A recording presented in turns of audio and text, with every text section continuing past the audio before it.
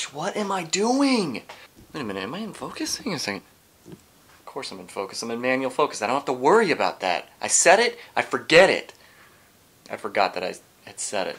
Anyway, man, I need to start recording. Today has started. Took Jet to school. That was hard. The morning, kids.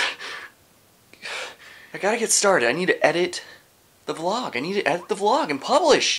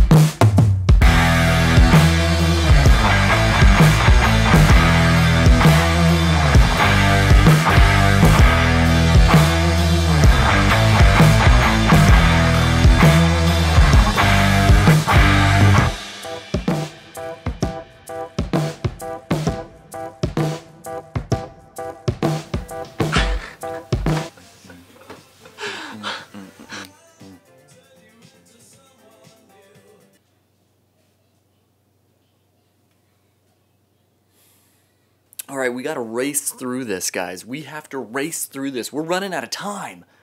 It's 9:30. All right, all you freaks and geeks, this is my vlogging setup. I mentioned in my first vlog, this was the dedicated vlogging setup. For this shoot, I'm using a different microphone, I'm reading from a teleprompter, I'm shooting in full manual versus auto ISO, but the camera and the lens, that's all the same. So stick with me through this. I'm gonna try to do this as quickly as I can. Here's what I like about the setup, or here's what's working really well for vlogging with it. The camera body is a Nikon D500 and it offers extremely fast access to video settings. Now the ones that I care about the most are the front dedicated video record button because I don't like to program my shutter release to activate video recording for some reason. The placement of the live view buttons match up really well with my ring finger when I'm in front of the camera, and all this really means is that with one hand I can turn on the camera, I can activate video, and I can start recording. Hang on, Quincy wants to be in the video. Do you want to come say hi?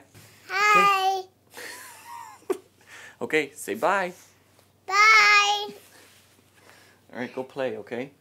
I'll be right there. All of this like quick access stuff, I know it sounds silly, but it's become more and more valuable for getting quick shots of life with kids.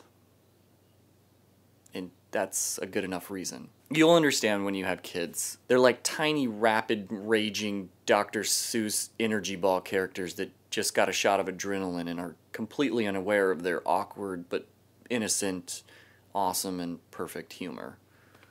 No, yeah, that's like the best definition of kids that I've. Yes. Okay, I really like the power aperture buttons that are on the front of the camera. These are customizable buttons, but I love this feature because it keeps me away from changing my shutter speed when I move from a dark to a bright shot. And it's nearly an unnoticeable adjustment that I can make in real time while I'm recording. I love the electronic stabilization on this camera. For the small price of a small digital crop, it just works really well. I like how confident I feel when I pick this camera up. It's heavy, it scoffs at rain, which can be a big deal in Oregon. I don't know if you guys heard. It has a mag alloy body and it just feels strong or pro in your hands. I like the articulating screen and likewise it when I use it it's super strong, it's a little stiff. I remember being really worried when I would use my 80D screen, the little flip out screen. And it worked fine, but I was always worried about like ripping it off or something. It just felt light plastic. I don't know. The Camvat, I've got to look up how to say that. The Camvat, let's call it Camvate. Let's call it Camvate. That's what's the Camvate digital SLR cage is awesome. I love having the wooden handle. It gives me a second grip, which gives me better chances at smoother shots.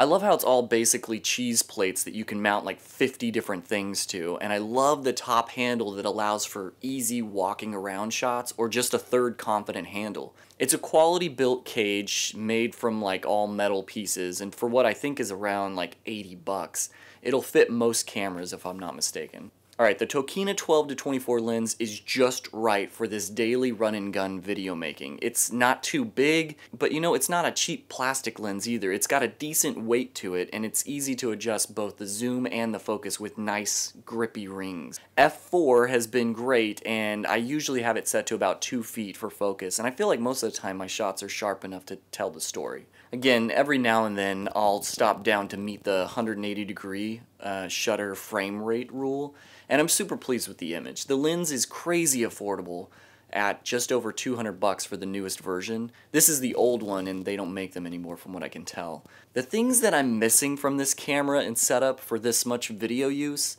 Okay, I'd be lying if I didn't mention video autofocus. I've trained myself to use manual focus, and I wouldn't trade that skill for anything. But knowing that the new mirrorless Nikon cameras have really good video autofocus now, I wish I could depend on that from this camera.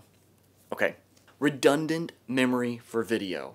Okay, yes, you can do this, but not with the built-in memory cards.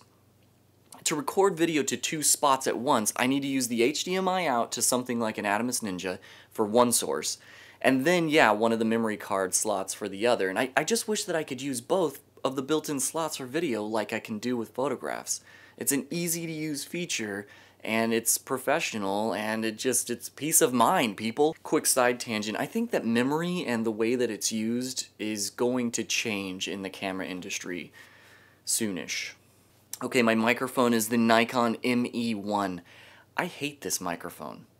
Besides it being a simple plug and play device that's nice and small and it's directional and it's lightweight and okay i guess it's not all that bad but I just can't stand all the noise that it comes with because it's depending on the terrible built-in preamp in the camera body. It's nice because I don't hear any of the body noise like the lens drive or my hands kind of adjusting the features or pressing any of the buttons. You know what I'm going to do? I'm going to do a test video uh, you know, like a review video to show you the different microphones, just the built-in mic, the uh, ME1 mic that I'm using and this uh, Zoom H5 that I have set up for this video right now. My motivation for that video is building super fast. Don't even get me started with the Yankees right now. Guys, I think that that's it. I love using this camera lens cage combo. It's easy to grab and go. It's simple, easy to change the video settings and the cage versus the Joby Gorilla Pod. It's a very small footprint. I just put an Arca Swiss plate on the bottom and I use a Peak Design camera strap to free up my hands when I'm not shooting. What I think I'm going to do is a deep dive review and setup video on the D500 soon. Because for like 1900 bucks right now, it's one of the best prosumer APS-C digital SLRs on the market. Every vlog I make this month is going to be with this camera and I have absolute confidence in it. Thanks so much for watching guys and I guess I'll see you tomorrow. I hate baseball.